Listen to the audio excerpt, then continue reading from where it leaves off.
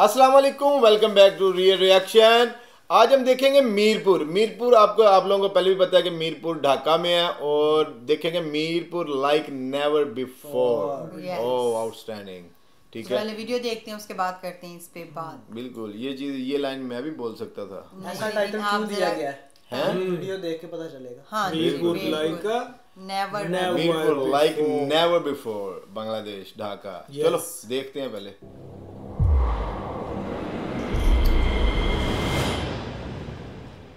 বাংলাদেশি দুইটা জিনিস জীবনে হবে না একটা হচ্ছে মিরপুরের মেট্রো রেল মিরপুর এমন একটা জায়গা যেখানে পানির নিচে ডলফিনও থাকে না তখন ओ वाओ पानी के नीचे के तो डॉल्फिन डॉल्फिन कमर्स उसको इतने आए हैं भाई इसके ऊपर वीडियो बनाए let's show them the real Mirpur.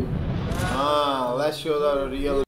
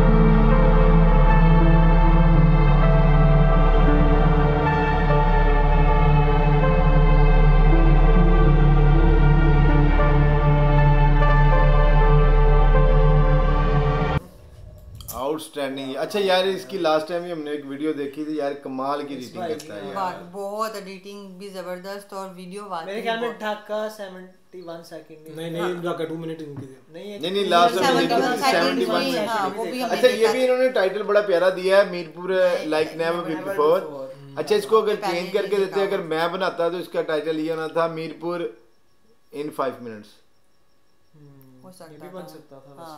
हाँ पाँच मिनट में यार उसने क्या क्या नहीं दिखाया। छोटा सा छोटा कोई चीज़ रह गई है? है?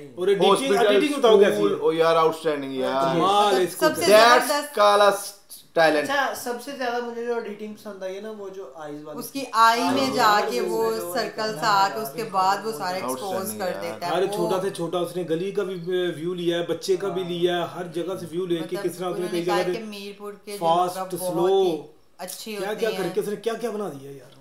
मतलब ज़बरदस्त वीडियो बनाई है नो डाउट कि इस बंदे में टैलेंट है। बिल्कुल। वाकई। दैट्स काला टैलेंट यस और ठीक है। जितनी भी वीडियोस आज तक इनकी देखी हैं सभी बहुत ही ज़बरदस्त होती हैं और no बहुत ही अच्छा वर्क कर रहे हैं।